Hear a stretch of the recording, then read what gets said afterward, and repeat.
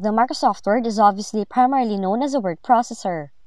But what sets the Microsoft Word from others is that it includes some basic photo editing features that you can use.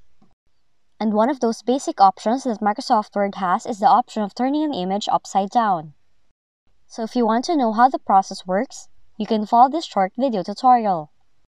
So first, make sure that the document you have open has the image you want to flip. Then, when you click on the image, the Picture Format tab at the top will appear.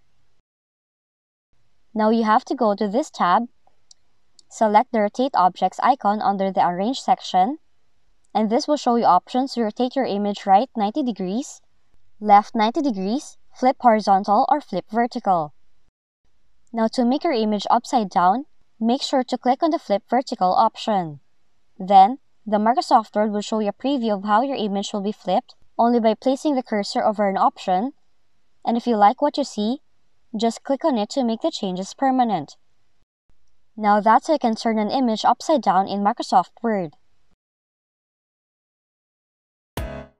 If you found this video helpful, kindly like and subscribe.